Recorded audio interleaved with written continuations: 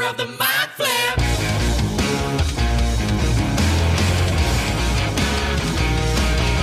Welcome to Theater of the Mind Flayer, a D&D play podcast set in the homebrewed world of Jacale. We've got two DMs for some reason, which can only mean twice the fun. So sit back, relax, and enjoy your time at Theater of the Mind Flip.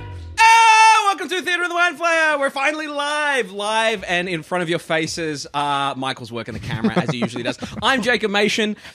We don't have Caleb Dowdall. we normally would. Uh, we're coming to you live for the first time, not live, on camera for the first time, uh, thanks to our many, many patrons uh, the Snack Daddies, Seth and Connor, uh, Apracrez, Andrew, uh, Predazino, Alex, uh, Vez. It's just Vez. They've been wonderful. Uh, and our new uh, patron, Caffeine, otherwise known as uh, Thrasher Asher. Asher, my, my buddy from Australia. Thank you so much for supporting us. That's the reason why we're able to be on camera. That's a nice long list, I'd say. It is a nice long list. It can be longer. Any- y- it- everything's better when it's longer, uh, including lists. Uh, let's go around the table and introduce ourselves. Uh, Yes, what is going on with you today? you are As looking soon at. as the camera's on, Hogan is like, I'm you are in here. front of this thing. That is producer Hogan. He is our producer. Uh, how you doing, buddy? He's You mean good? mugging the camera. I'm looking Yeah, at he really yeah. is. Yeah. Lick that microphone. Uh, he is giving lovey eyes to uh, Luke Sykes. Hello, I'm Luke. This is Danielle Butlin. Hello, Danielle. We have Hercules Mayes. Hello. And we have Michael Briganti. I'm Michael. Yes. You're all looking at the camera more than me, and it's upsetting. it's gonna. I need more attention. Uh, this is a D&D uh, live play. Uh, we are unique in that we usually have two dungeon masters. Um, that is Well, not the case ish. for now. Our, Do we? We started with two dungeon masters, then it kind of petered out. Then he came back as a uh, sentient weapon, a score of How sentient many? weapons. There Uh, I think there's 12 of them. Uh, but we thought we'd come in today and say hi, introduce ourselves, a little session 2.0. And we thought we'd introduce our characters, give you the story so far, uh, muck around a little bit. And uh, that way, those of you just joining us on video, as we start at level 10 in the uh, animal city of Lorna Karth, uh, you'll know what's going on. So if you'd like to go around and tell us a bit about your characters, just uh, physically what they are, what they're about. And then after we do a recap, we will talk about how they've changed. Uh, all right, who wants to go first? Uh, Michael, Wow, you've been voluntold. go on and all of a sudden stress, stress, stress. uh, yes. Um, I'm Michael. No. Um, I play. No? I play. What do you mean, no? no, I already did that. You're they not already Michael? know. They already know. I can get straight to the character Resident stuff. punching bag, Um, I play Azorith Rosewall. He's a uh, half elf. You, you know. Yeah, uh, I just early I forgot on. his last name. Yeah, was it doesn't come Everyone up forgets often. his last name. We often Um, forget his first name. Yep. Luke doesn't know his first name. um, he's a half Luke elf. runs a game and he barely knows the character's names. He's a half elven sorcerer. Um, he deals in uh, the shadowy type magic. Um, he's uh, fuck's sake, because he's he cha- he's changed a lot physically over the last little bit. We're not there yet. We'll get to that. Don't talk but about tell that us, yet. Tell us physically what he started as. what he started at well he was um has kind of long like shoulder length dark hair uh kind of scraggly and messy uh with a little bit of a like a goatee going on um scraggly beard and with kind of patchy uh he wears dark um dark very dark blue trimmed um sort of robes and sashes that have some furs on it um very stylish but also very functional uh, a little bit of worn and worn torn from all the adventuring and Is his underwear fur lined or? uh, his underwear Very good question. Everyone start thinking about your i would say the underwear. inside yeah the, in, it's, the inside is Real fur on the inside the texture of that. And, mm. Tell the men I made it with a woman. And show um, the men the medal I got. But yeah, he's got he's just got very functional clothing. Has a uh, cape that kind of uh, just cascades down one side, like one shoulder. Uh, yeah, one of those. And uh, he has some uh, flamboyant esque earrings uh, with some feathers and some jewelry pierced through uh, the bottoms of his ears, as most of his half elven ears are covered from his hair Yeah. that he has or Yeah. had. Whatever. We'll get yeah, to we'll it. get to that. We'll get to that. Um, yeah. and yeah, uh, he's just And he's a class wise. uh, he's level ten Level ten sorcerer. Yeah, started off. Uh, we started off at level three, and the, that we've progressed through almost hundred episodes, and these guys are at level ten now. Uh, thank you very much, Michael. What, what what actor would play him?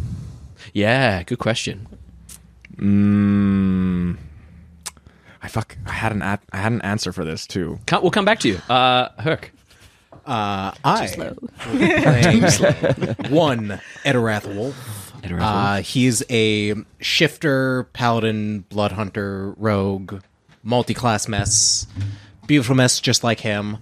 Uh, long back length, uh, black hair, scruffy, uh, full beard, uh, bit of a broken nose. Um, wearing a very traditional pirate garb, the the the flowy white shirt. Yeah, tis tis glorious thing. Uh, the the the white flowy poet shirt, the uh, tight leather pants, uh, knee high leather. Wait, he's a boots. poet? He's a poet. Poet shirt. I didn't even know it. Yeah, that's what it's called. Yeah. Boo! Ooh, tomato, tomato, tomato. Uh, where's, uh, yeah, uh, tight leather pants uh, with uh, knee-high leather boots with five-inch heels, um, and a bleached bandana now uh, adorned with a large scimitar and gun. Beautiful. Yeah, What actor would play him? A couple of different ways depending on how I would want to cast this character's race. Uh-huh. Because potentially there's like a like a there could be like Jason Momoa vibes. Okay. Okay. or like I could see potentially uh Hell yeah! we there, we live in a very busy street, uh, and it's summer, and everyone's partying outside. So I don't uh, think it's a party. I think it might be a political march. yeah. Oh, okay. Yeah, Mm, my that's kind of what it sounded like. Oh, They got good music. I music. mean, you though. can still dance. To I it. hope I was grooving to the right thing. Did, uh, You're- you're- Yes, I think so. Should we talk about that right now? Nah, we'll wait. Okay. We'll wait. I don't know which one it is. Uh, it's a uh, good one. someone shot at Trump at one of his rallies, uh, but we'll get to that. Uh, what? Yeah. That's crazy. I didn't know. Uh, yeah. and no. they didn't get the job done. Uh, okay. It was a ruse by his team to earn Who would play him? votes. Uh, t- uh, potentially Jason Momoa. Potentially, uh, d- before he was problematic, Johnny Depp. Okay, yeah, yeah, yeah, yeah, yeah, that maybe, kind of vibe. Maybe a Native American actor. I don't. I'm not too sure. Beautiful, beautiful, excellent. Uh, Michael, have you come to some sort of conclusion? yeah, some sort Okay, of conclusion. Beautiful. We'll come to that in a second. Luke. Uh, I am playing a turtle. He has this sort of pale blue gray blacky skin um, on his shell, which is like this. You know when it's almost black but it's blue kind of shell, uh, and on that shell there is this. It, there's this giant cre- like crevice and crater which has been hit, and it's uh, snaked out across his whole shell in the cracks it's got like the gold fill like they do with the the japanese pottery i can't remember the name of it jake do you remember what that is Uh, Danielle might know better than me. danielle do you know what the name of that is Oh, I used to know what it was. we'll was. come back to that Uh, uh, uh, Michael, look it up I thought you were asking. me. I don't know. Japanese pottery. That's what I Google. Uh, hang on, I'll hold. uh, I'll broken hold. japanese pottery I'll hold you I up got to it. the Here Hang camera. on, hang on. Oh yeah, and that's my little mini. That's me. I got a giant warhammer, uh, made with this blue sort of tungsten metal like vibes, filled with gold inlays. Kintsugi. That's it. Kintsugi. Kintsugi. That's it. Uh, this is Etterath. Hasn't been painted yet, My sword's broken. and uh, we'll get to Agnar in a moment. I don't have I didn't Azra. bring Azorith. Uh, I wasn't gonna use. I didn't think we were using him tonight. He's also not painted. He's also, not, my he's not stage ready. my turtle's also five feet tall and almost five feet wide. So he's a, he's a solid square. He's a but real. So real he's- chode. He is a Rotund. chode, uh, and he's got no hair but a beak. And I would say he's played by or vo- voiced by Michael Shannon. I love that. Oh, I like Michael Shannon. Yeah. Came prepared, Michael. What'd you do? Uh, have you? You do have some more question. You know this. que- What? All right. No, I tried. Uh, Danielle. Danielle. Not me googling brown shaggy hair actors.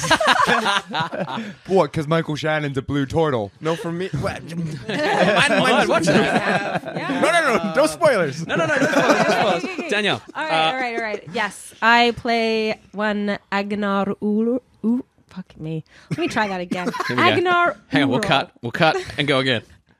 No, you're not. I know you're not. Um, anyway, Agnar. Agnar is a, a cleric, uh, a life cleric. Um, she's an Aarakocra uh, who uh, resembles very much a chicken. Um, with hands. With hands. The eternal debate. which for some reason is weird. what's that- other what's that- Aarakocra Schrodinger's have- What's that on her hip? Uh, oh yeah, so she's she's dressed in fairly simple robes, as as clerics are wont to do. Um, but she does carry a nice hefty uh, cast iron frying pan on her side that she rarely uses as a weapon, but it does, you know, Mm. come in handy on occasion. Um, Who yeah, who who who, would who would voice her besides a, a female uh, uh, Michael Sheen? Yes, I really like Michael Sheen. Michael Sheen, a yeah. female would be so Yeah. perfect. Yeah. Um, I get, I get. I'll tell you. Tell, tell me who you think. It's there's also, I mean, there's a some sort of mix between, I think Maggie Smith and Judi Dench kind of Yeah. collaborating together with Uh-huh. Michael Sheen. If if they were a thruple and had a baby and that baby was then old, ish. that Danielle's got weird kings. kinks. Who played? and and the Scottish woman from uh, uh, your favorite uh, medical show. Um, what's her name? Um, Grey's Anatomy. a little bit of that voice. Um, yeah, the Scottish woman from Grey's Anatomy. yeah, yeah. Yeah, a little bit of vibes there. Uh, Michael, who did you uh, who did you come up with? Uh, like Jake Gyllenhaal. All right, moving on. but more scrawny, like a David little less Tennant. muscle muscles on him. Did you say muscles? Muscles, Muscles. muscular. Muscular. Um, or like, or like a Orlando Bloom kind of thing. okay, yeah, yeah. yeah. I have Oh no. In color. But we're not sponsored by. Can you see that even?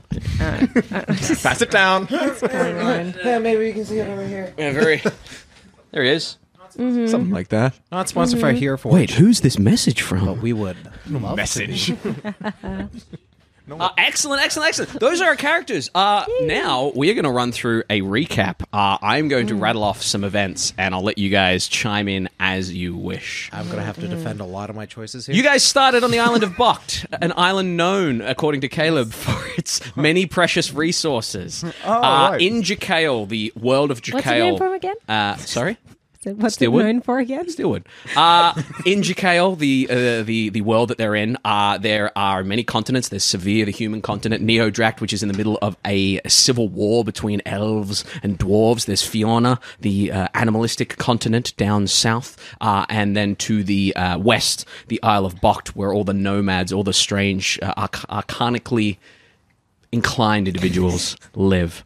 Um, you guys went there uh, for various reasons. You met there. Uh, you headed into the mists, these strange mists that protect the island from invaders. Uh, you ran into an elf named Nim, named Nim, uh, who was promptly sent into the mists on his own by Bias Force, formerly known as Bias. Didn't we miss the whole thing about a sign there? I can't go over everything, otherwise we're going to be here forever. Uh, go back and listen written. if you want to get the in jokes. we can't Uh, do every single one. You made your way to Bale, the city in the center. You met uh, the Baleman, one of the Balemen, a young upstart, uh, Bakanav, a Goliath who you became fast friends with. The Balemen who are able to traverse the ever-changing roads of Bocht. You headed up to Lahias to help him become a fully fledged uh, Baleman, and while you were there, you met Vasily. Uh, Now's probably a good time to mention a cast member that's no longer here. Safirith, a tiefling friend of yours, played by Daelyn Lester-Serafini. Uh, you can still hear Daelyn on the uh, on the airwaves, Safirith Sapphic Safari. Uh, as you headed up there, she wanted to get her tattoos down pat, uh, uh, hooking up with Vasily, the uh, tattooist, the um, uh, how would you say that? The shaman of the group there. Uh, and as a result, you discovered under Lahias a poor human strapped into vines, almost like Neo in the Matrix. Would we vines. call him human? Yeah, human. Would we? Would we? Humanoid, Humanoid. pressed in. Before my time, so He was a, he was wasn't humanoid esque, uh, and you freed him. As you freed him, it uh, was uh, made known that he protected Bocht, uh, and that uh, uh, with its defenses stripped, time was now of the essence. Uh, you headed back down towards Bale. You rescued some children. Before then, you met Azorith in a uh, in an alleyway there, helping you fight off some assassins sent to try and attack Force. Uh, you went down. You saved some children. You came back up. As you came back back up. The Balemen were being slaughtered I, don't know, by I wasn't there. I came back at this part. Yeah. Well, being you were The drunk. Children. Yeah. Yeah. Yeah. You were Character. drunk in an alley. I was drunk in an alley. Then you guys fucked off and left me alone. You came back. The Balemen were being slaughtered. Uh, you watched as Nim killed uh, our favorite uh, Shakespeare uh, toting uh, mayor. Uh, as he was killed, you killed Nim. You managed to uh, save a couple of Balemen, but it was made apparent that this island was about to be under attack, and you guys were their last hope. You headed off to Ava, the beautiful river city where the fish make you trip balls, and indeed you trip balls. And you left Bucky and Pierrup, the person you uh, saved from the uh, uh, the confinements of his uh, his kind of uh, protective prison, uh, and Pip, your little your little friend. Uh, you managed to uh, leave them with a guy called Ari, a strange, curious individual who told you to keep your eyes open. It was at this point that you were realizing that every point of exhaustion you got past one seemed to give you powers, but you weren't able to stave off the uh, effects of the. Um, the exhaustion. Uh, you hopped on a ship with Captain Orius and Fibrous McGee, uh, and you sailed around. As you sailed around, uh, uh, Because we were trying to get help. To Trying to get protect- help to save right. the There was a purpose. Got to save for, for- Buck. for the yeah. journey Got to turn the tides Yeah. of the war. Severian ships bared down on you, and uh, Etterath called to his patron, and an enormous dragon turtle and a whirlpool helped you out. Yeah. Uh, Michael's favorite part. Yeah, if you go back and listen to any episodes, listen to those episodes. Uh, That's- you bamfed around a bit with a magical storm, and you ended up near the Shadowlands. Uh, as you adventured through the Shadowlands, you took flight up a. Uh, a it was a twelve hundred foot. I, I, I did the uh, did the math. A twelve hundred foot kind of steep, uh, almost mountain, almost a cylinder of stone, twelve hundred feet, which is the same height as Mount Fuji. So if you imagine that height, that is the height that you and Safirith flew up to, and as you came over the top, you saw a giant that tall swiping at you, golden eyes, beautiful hair. Uh, you saw a city in the center of Tortui. Um, and as you kind of went back down, you guys went, uh, you went to Haktui. Uh, you made your way down, hopped back on the ship, and it was at this point the Safirith uh, was attacked and taken away from you back to Severe. Uh, again, listen to those episodes if you want an update of what's going on with Severe, including you guys, because I revealed something to Michael and he was like, oh shit. Uh, as you sailed on, you made your way to Fiona, the Animal Isle, in order to try and seek help from uh, Gale Village, uh, where Etterath is from. And you found out that Etterath had not completed his choosing where youngins from the Howling Ring, uh, from uh, Fiona. make their way into the Howling Ring and let their savage tendencies either take over or repress them. And after a year, they are given a stamp of approval. You went through the forests. You found a sentient weapon. Uh, Oshbosh G- Bagosh, what was his name? Uh, Tim Tam Tom. Uh, no, uh, the, Uh, Serrana was the first blade. yeah, the Serrata is my sword. Then Tim Tam Tom was the boomerang. Yeah. Yep. Yeah. So for some reason, Serrana doesn't follow the same rhyme scheme. No, Bing Bang Bosh was the boomerang. the boomerang. Yeah. Tom, Tim Tam Tom was the trident that got Right. thrown away. Yeah. You met a bunch of I have the sentient trident. Now. Oh, what did you throw away? The boomerang. boomerang. it sounded dodgy as fuck. Yeah. Uh, you went to Gale Village. As you went to Gale Village, Yeah. you were confronted with were To get help, get uh, the were creatures that live there are, tr- are having trouble kind of getting representation in Lorna Karth. Uh, you agreed to uh, kill this giant phoenix that seemed to be attacking the eternal eel in the lake. You did so. Uh, as you killed it, it came back to life and flew back to the uh, the volcano at the south there. Uh, you ended up going back to Gale Village, uh, and after pulling many cards from the deck of many things over this period, Many, many gods. one of the cards, too many cards. one of the cards bringing you your ally, Sir Alpin. Uh, the rest of the cards bringing you Etterath, the marks of a devil and a demon, both of them vying for something. Uh, these devils confronted you after you confronted your village and uh, wreaked havoc. Uh, you managed to get out of there unscathed, the village pretty badly damaged, but no one really slaughtered. And you made your way back in towards the Howling Ring in order to uh, make your way in to the Temple of Brigantia to save uh, Nesh. Uh, And get allies. Agnar's friend. And get allies. More Just to allies. get We're still trying to do that. As right, you right, made right? It's, it's, it's a work Have any allies yet? Uh, we have kind of. we have Celia. We have uh, uh, You ran into a, a hot dwarf who uh, who kind of got the information that that uh, Yeah, we Bok is- overshared with a hot door. Overshared yeah, with a that, hot dwarf. That that was my bad. It happens. Uh, you then made your way into the Howling Ring, confronted some weird uh, warped creatures. You got to the Temple of Brigantia, and you managed to free everyone in the Temple of Brigantia from these uh, Yuan-ti that seemed to be trying to make their way into Lorna Karth. And as you made your way through the tunnels, secret tunnels that lead from the Howling Ring, from the Temple of Brigantia into Lorna Karth, Etterath's devil showed up and slaughtered not only uh, Sir Alpin, Yes. but all the clerics and Nesh barely survived with a uh, a revival there. Not my fault. Well, she died. yes, she was it's dead for a we while. Not my fault. left off with you guys rather downtrodden, making your way through the tunnel into Lorna Karth. Did I miss anything? Yeah, you missed a whole bunch. Go on then. Well, you know, there's like this, all this. at jellyfish cancer for a bit there. Jellyfish cancer, yeah. Again, we don't want to give anything away. If you haven't watched it, watch Yeah. it, listen to it. There's We so had- many fun details in it. We, and we had a it's cool guest back to. star. We had a bunch of guest stars. Yeah, we had uh, June Laporte. Uh, we had some one shots with um, uh, a whole bunch of people. We had Lucas uh, Pearson. We had uh, Lyndon Porco. Uh, Lyndon Porco. Uh, we had Jackson Berlin. Yes. Uh, I don't remember who else we had, uh, but we had plenty. There's a whole one shot about a character you didn't mention. Who? Uh, Cotton Eye Joe. Yeah. Oh, Cotton Eye Joe. If you want the, if you want my Cotton proudest Joe. moment in, in, in, in improv, listen to I don't know what episode it is, but while you're while they're on the ship, some of the best improv Caleb and I have ever done. that was Booty Hole as well. That was the Booty Hole. That was that whole episode. Uh but here we are. Uh, how have your characters changed over this uh, period? Uh, we, like you said, when we left off, your wild magic was surging, and you lost your hair. You turned blue. I've shrunk. thought you were blue. I've aged. You've aged a few times, and I de-aged, so I'm kind of sitting at the same age. Yeah, yeah. Um, I'm probably I'm just the same height as Force. Um, yeah, looking pretty pathetic right now. But uh, yeah, that's pretty much uh, Yeah, Physically, he Azorith is is blue skinned, bald headed, short. Blue Man Group. Yeah. Yeah, pretty much. We're creating Blue Man Group. It's the ultimate. Different shades of blue. What's the Blue Man Group's arch nemesis? Uh, Out of tune drums. yeah, probably pipes that are clogged. I don't know. Has anyone ever seen the Blue Man Group live? No, but I would. Yeah, yeah. It's one of those things that I'm like, I don't know why, but I would. Yeah. Yeah. Uh, as for my character, I don't, I don't have to drive this whole fucking. let's talk thing. about Blue Man your Groups. job. Uh, my, Speaking of Blue Man Groups, my character physically has not changed. Physically looks th- pretty similar. Um, maybe lost a, a few pounds uh, inside a shell. Um,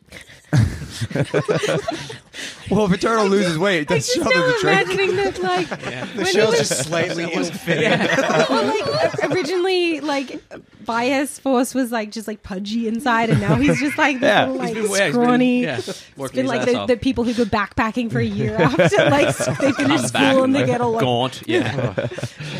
um, don't ask him to take the shell off. Um, he has changed his name. It was Bias, and now it's uh, Force. Uh, with the sort of changing of his attitude about how the whole world should exist in a balance, that he now believes to to enact, to achieve, to obtain, to cause any change, you have to force it. You have to create the change and drive the change with, at the end of the day, power. The, those who have more power, magically, physically, are the ones that can uh, enact whatever they want. And so he doesn't believe that gods are omnipotent, omniscient, and all that. He fully believes that they are um, just stronger beings, ones with more power. And he is indeed. He has not been shy about this. This is not a spoiler. But No, he's trying this to is kill, episode one. overthrow Yeah. Orin, the god of life and death, his deity that he was uh, brought up worshipping. And through chats with other um, followers of other religious idols, he almost now believes that uh, all gods are one. All the gods in the pantheon are potentially one being. Um, and so he's not opposed to killing all the gods. Exclusive take right now. Um, Hot there take. is, there is. Uh, after talking to another character you didn't mention, won't spoil anything here. He also thinks that uh, there has been a. Con- I don't know if this is true or not in the world, but there has been a shift in many different pantheons through over time, um, and that maybe it's just the time for a new one because the world ain't working properly due to what has happened in his life.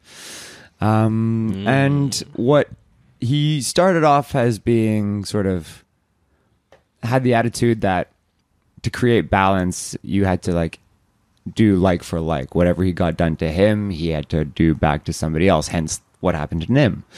Um, and now it's now he's trying to play a longer, smarter game as to what retribution means to him. Okay. Okay. I see it. I respect it. Uh, main thing that changed though was his accent from episode one to two to three to four.